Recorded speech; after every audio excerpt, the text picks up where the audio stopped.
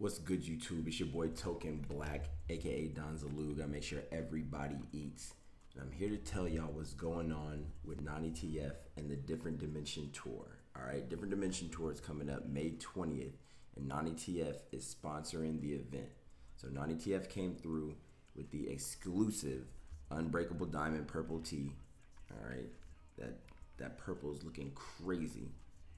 But that's not it NaniTF also came through with the black and purple trucker hat, bringing that purple through for the different dimension tour. And then you can get them both together right here with the bundle deal. So different dimension tour is definitely going crazy, and NaniTF is bringing that purple out.